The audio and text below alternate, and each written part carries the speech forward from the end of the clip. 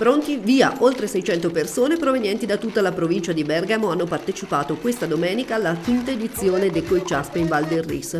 A salutare i partecipanti della competitiva e della passeggiata, neve fresca in ottime condizioni, ma soprattutto una splendida giornata di sole. Quest'anno ci è proprio andata bene perché la nevicata è arrivata proprio, si riusciva anche ugualmente a farlo, però con questa nevicata è proprio è, è stata l'ideale. La giornata di oggi è stupenda, magnifica le persone tutti gli anni aumentano di numero e noi ringraziamo veramente di cuore tutti, tutti, tutti quelli che ci hanno dato una mano. Organizzata dal GSH Mos e dal CAI Val del Riso, la manifestazione è stata sostenuta anche da altri numerosi volontari che hanno lavorato per giorni per tracciare il percorso e preparare al meglio l'iniziativa. Dalle 106 persone della prima edizione, ora al via oltre 600 partecipanti che hanno potuto godersi le bellezze della natura grazie a due percorsi tracciati ad hoc per esperti e meno esperti, ma che hanno permesso a tutti di apprezzare la natura ed il paesaggio fra i 1200 e i 1600 metri di quota.